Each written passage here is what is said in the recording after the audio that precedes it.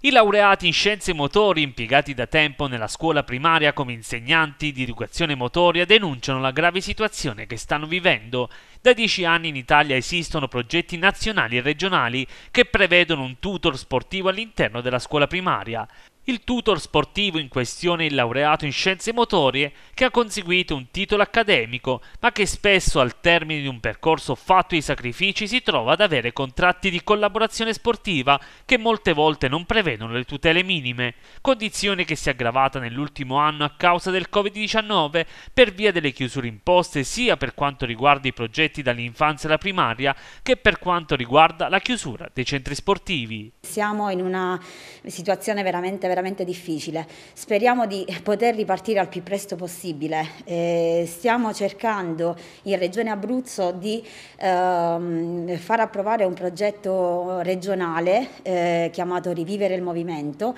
che coinvolge le classi prime, seconde e terze della scuola primaria e eh, stiamo cercando appunto di eh, parlare con tutti i partiti politici che ringraziamo, ringraziamo il dottor Quaresimale che ci ha eh, ricevuti in regione e speriamo che insomma, questo progetto si attui nel più breve tempo possibile eh, per far ripartire almeno lo sport nella scuola primaria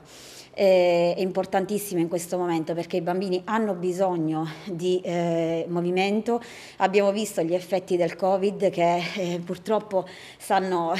sortendo degli effetti appunto negativi e, e, quindi speriamo, ci auspichiamo che verrà al più presto diciamo, attuato il progetto. E la SD che abbiamo creato, i professionisti delle scienze motorie, ha come obiettivo quello di andare a ehm, diciamo, far lavorare la categoria, quindi i nostri nostri iscritti, eh, abbiamo creato una rete di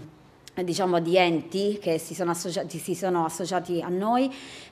abbiamo, diciamo, abbiamo, sotto la nostra rete il Training Lab che è un ente di formazione regionale, il CSI, il CIP, il CONI e, e tanti enti privati. Un progetto innovativo perché introduce eh, la figura del terapista occupazionale eh, che va diciamo, in aiuto del laureato in scienze motorie eh, laddove si presenti un caso eh, all'interno di una classe di disabilità grave.